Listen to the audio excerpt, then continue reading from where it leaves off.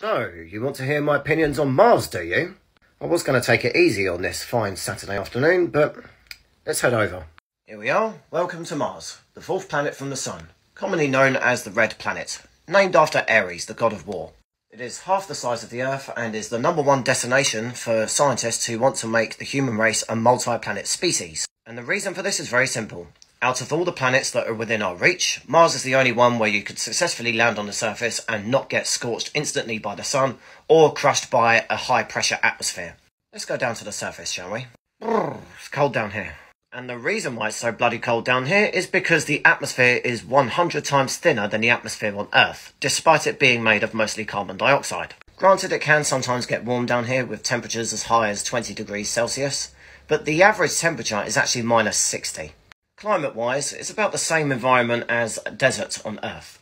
So you get another sunny day, and it will get freezing cold at night. For early scientists and astronomers, we imagine that Mars would be much like Earth. It would have at least some form of liquid water. But once we reached the surface, we were disappointed to see that the place is actually just littered with rocks and Martian dust. It is dry as a bone on this planet, and it is completely dead. But judging by its surface features, it must have had a very active past. Welcome to Olympus Mons, for example. This is the largest mountain in the solar system. It's 15 miles high, three times the size of Everest. And if you were to travel from its central crater to its outer edge, you're looking at a journey of about 300 miles. It's about the size of France. One can only imagine just how violent and destructive this volcano was when it was active. Now this colossal thing here is called Valles Marineris. It is one of the biggest geological features we have ever seen. And to put this into context, this canyon, you could literally put San Francisco at one end and New York at the other.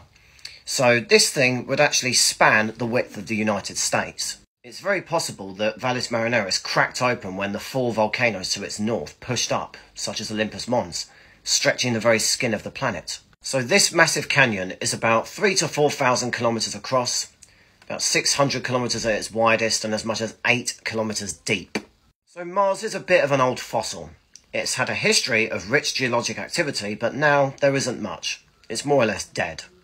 It is very possible that Mars in its earlier years did have a rich oxygen atmosphere, and may have even had some forms of life on its surface. But I've done a previous video about this on how Mars and Venus and Earth started. The reason why it's in the state it is now is because it's too small and it's didn't have enough gravity to hold onto all the atmosphere. The colonisation of Mars is going to be very tricky. I should also mention one of the biggest challenges when it comes to terraforming Mars is it has no magnetic field, so it can't protect itself from the solar storms.